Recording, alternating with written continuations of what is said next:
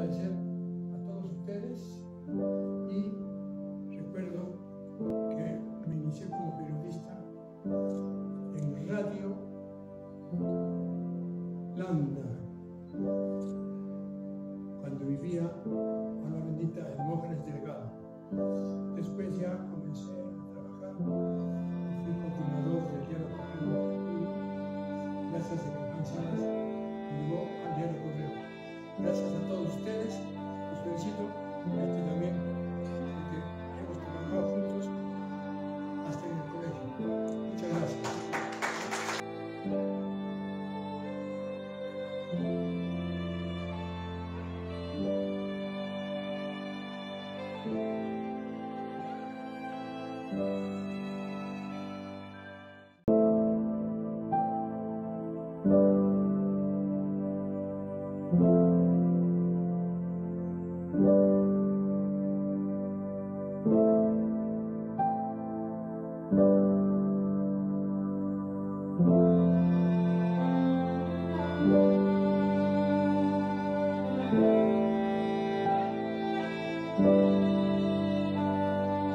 Thank you.